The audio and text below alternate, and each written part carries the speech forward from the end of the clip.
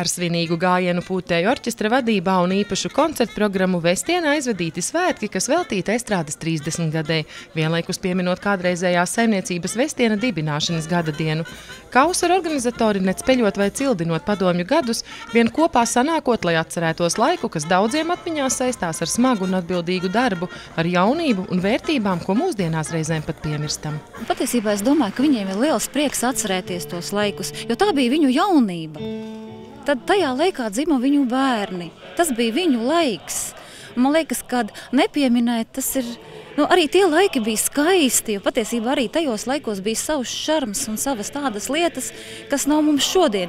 Es gan nesaku, ka mums to šodien vajadzētu, bet, bet, bet, bet aizmirsuši mēs to, protams, neesam. Parodējot tiem laikiem raksturīgās kopsapulces līdz ar priekšnesumiem un humoru pilnu modes skati, kas atmiņā atsauca kādreiz tik ierastos, taču mūsdienās jau aizmirstos personāžus, situācijas un tērpus, ik pa laikam uzplēksnie pa kādai atmiņu dzirkstelei, kas iezīmēja vestieniešu saulaik piedzīvoto un izjusto. Toreiz bija kolektīvs, kuru mēs arī cieši turējām kopā un darījām visu kopā. Gan strādājām kopā, gan atpūtāmies kopā, gan sportojām kopā, gan ballējām kopā.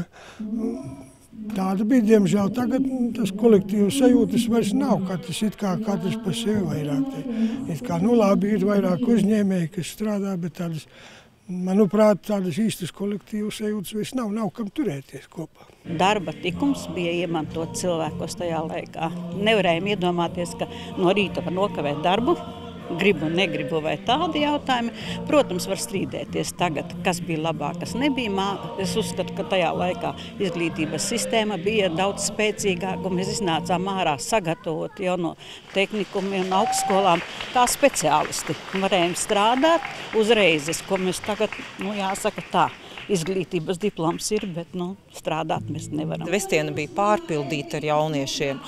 Un mums bija tādi nu, vakari, mums bija tādi pasākumi, mēs visas lauku apkārt pirts izbraukājām, mums bija mēs lustīgi. Un darba kolektīvs un darba kolektīvs strādājām, saņēmām garās tabulgrammas, pildījām. Nu, Pakluso svinējām Ziemassvētkus, policija mūs nāca apmeklēt, bet bijām ieslēgušies. Nu, var sakot, tādas lietas, kā tagad mūsdienās, tas viss tā liekas paši saprotams, bet mūsu laikos tas bija kaut kas vienreizējs. Tās atmiņas viss saistās, paskatos tagad šo šiem cilvēkiem. Pilnīgi asaras birs, kas viņus satiek vienu otru, ko es neesmu redzējis jau gadiem. Sakot paldies par saulēk paveikto, godināti tikai visi bijušie saimniecības darbinieki, pieminot tik nozari, kas saulēk vestienu piepulcējusi labāko saimniecību pulkam. Bija bija gads, kad eh, arī Vestiena izgāja sējas pirmrindniekos. Mēs pirmie pabeidzām sēju. Tā nu, vienā gadā tā bija. Un nu, katrā ziņā Vestiena turējās kaut kur augšgalā uh, saimnieciskajā darbībā.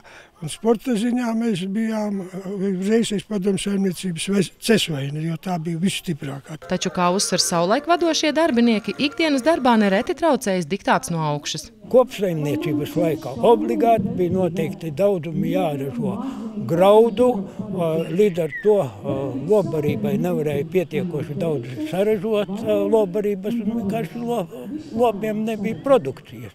Ar vērtsākot neražīga tā puse bija, bet tas bija no augšas nu, augšas plānošana vienkārši ne. Bez, bez saprāta. Tāpat kā arī šodien daudzi jautājumi tiek risināti, nedomājot vispirms par lauku apdzīvotības saglabāšanu. Bija nabadzība, jāsaka, jāstāv pie rindās pēc piena, kefīra un tādām lietām, ko negribas atcerēties. Un arī tas nu, diktāts, kas tajā laikā bija, to negribētu.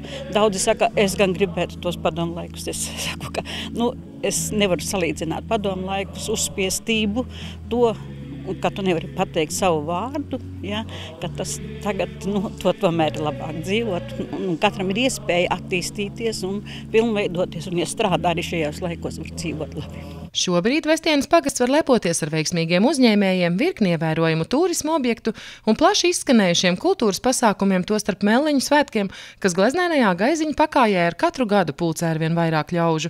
Un, protams, ar estrādi, kas nenoliedzami ir viena no Madonas noda brīvdabas objektu pērlēm, kuras atklāšanas svētkos 60 gadē tika sumināta vestieniete romāna Lazdulaipa autora Ilza Indrāne. Estrādes atklāšana bija grandioza un iesvētīta. Viņa bija ar ļoti skaistām dziesmām un ļoti lieliem stipriem vārdiem, ar koku aleju, kas tika stādīta šeit.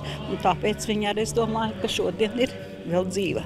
Jāpiebilst, ka neraugoties uz iedzīvotāju skaita samazināšanos, kultūras dzīve Vestienas estrādē neapsīkst. Šeit kopīgi tiek svinēti Jāņi, skatītas gan pašu amatieru teātra, gan viesizrādes, rīkoti draudžu lūkšanu sajiet un jau ceturto gadu izdancot Svetbankas sadancis.